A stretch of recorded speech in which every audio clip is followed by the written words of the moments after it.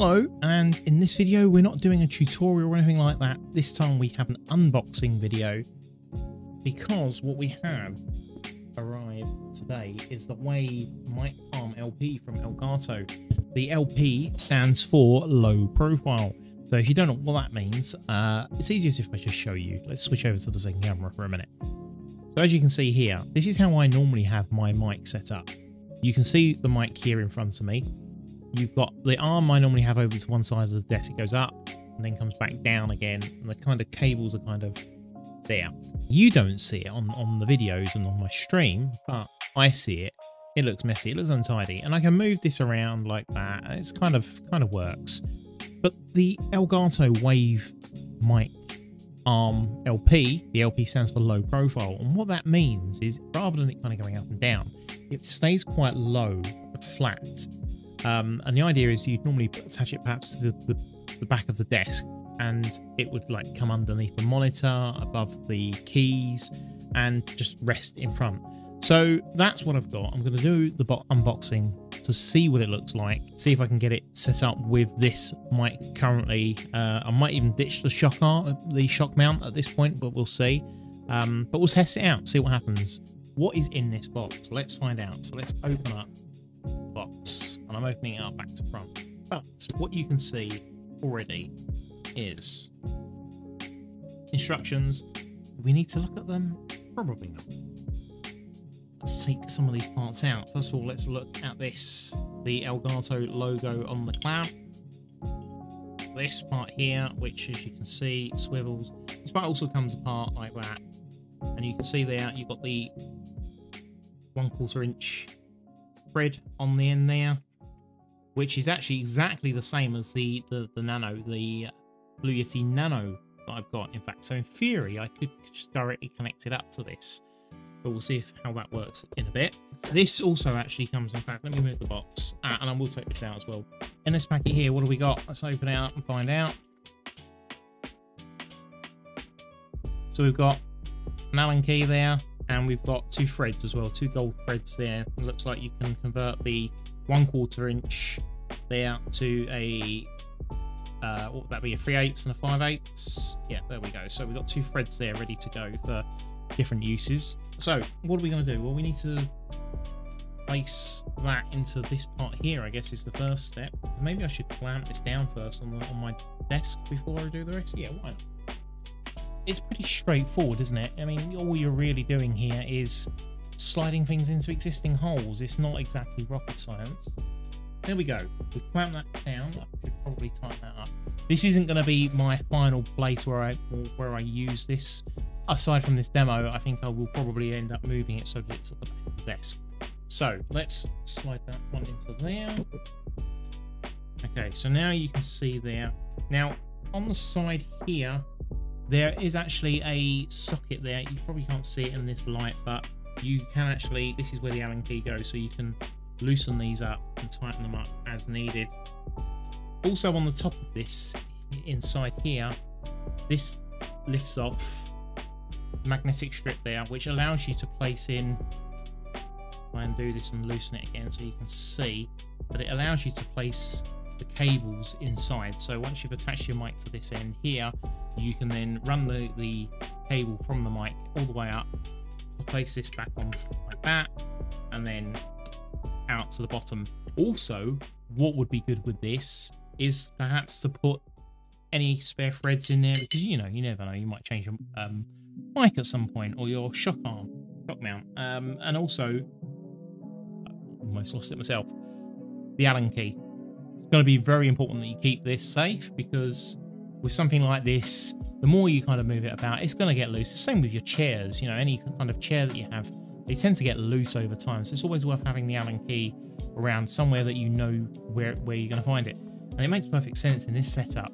You might as well just place it inside there, and then that way you're not going to lose it uh, pro tip, I would say. Now, I need to unplug the mic that I've got on the up here on this arm, and I'm going to put it onto this one.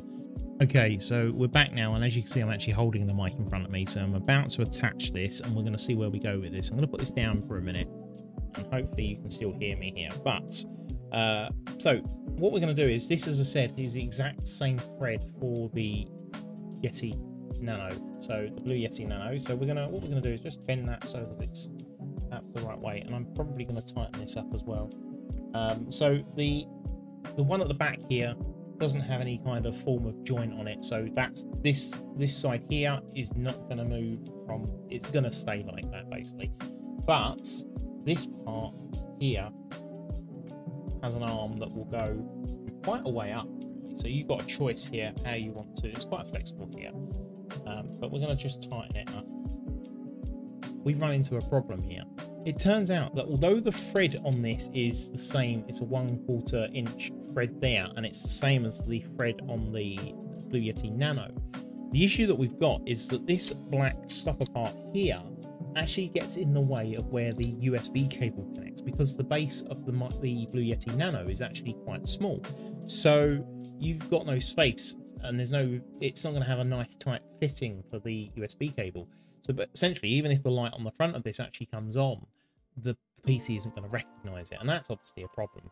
So this is where we're going to need to use the gold threads. Now, for me, as I said earlier, I've got a shock mount connected. I bring that one into shock there. I could use that. Um, there's some options here. Either connect my mic back up to the shock mount and then uh, use the, one of these gold threads on, on the end of this. What that would mean is I could then connect up my shock mount and then just connect my mic up that way. So maybe we could do it like that.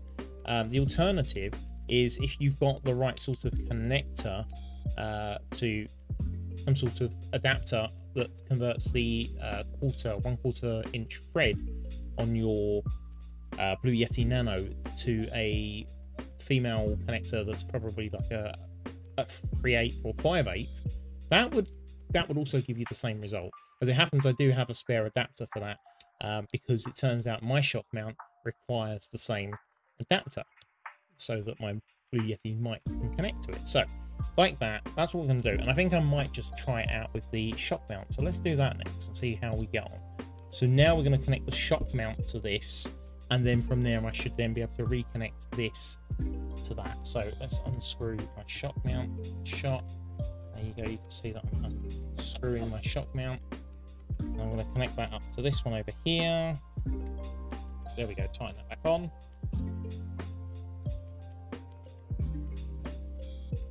That gives us shock mount on the arm. Need to make sure, again, I need to make sure that these are tight, otherwise we're going to have all sorts of issues. You can already see the weight on that is already starting to, because I didn't tighten this up earlier. So let me do that. Let's tighten up this connection again. Tighten, tighten, tighten. That's that's looking more stable for now. Uh, so we're going to have that. That's looking good. That's looking good. So we're all set up now. You can see that I actually have the, the shock mount here. My mic is connected. You can obviously hear me, so that's working. And I've got the cable running now. This cable is actually has been out of shape so long. So if you get a better cable, a newer cable that isn't so messed up like mine is, then that would be nice and smoothly hidden underneath this panel here. Comes out here and then back in here. It would have been nice if they could have actually done it sort of internally somehow. I don't know how they would have done that. That would have been nicer than in and out, in and out. But, you know, it's still, I think, better than I had before. Now, I'm going to switch to my main scene and see if I can get the, the positioning right on here. But as you can see, I've got loads of space under here now to talk. I can see the screen, I can see the camera, everything pretty much as I had it before. Let's switch back to my main scene, uh, full it fully, and see how it looks. Now, that's probably too high to how I normally do it. I'll bring it, bring it, bring, bring it back down a little bit.